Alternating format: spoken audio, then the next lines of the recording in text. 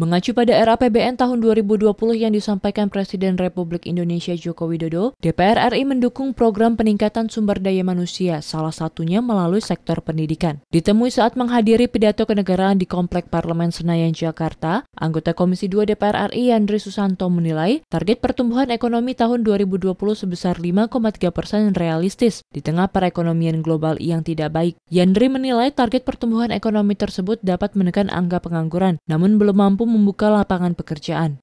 Tidak akan tercapai. Artinya perlu pengawalan, perlu program yang bagus, bukan hanya sekedar menghabiskan anggaran, bukan bagi-bagi proyek.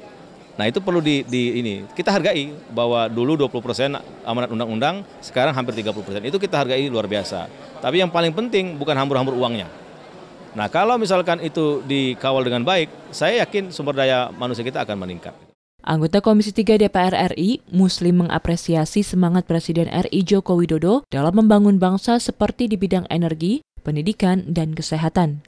Muslim menyampaikan DPR RI terus mendukung program pemerintah sejauh untuk kepentingan rakyat. Namun semangat Presiden tersebut harus diikuti oleh kementerian dan lembaga. Kami tentunya eh, pidato Pak Jokowi hari ini memberikan satu spirit positif ya untuk pembangunan bangsa dan negara.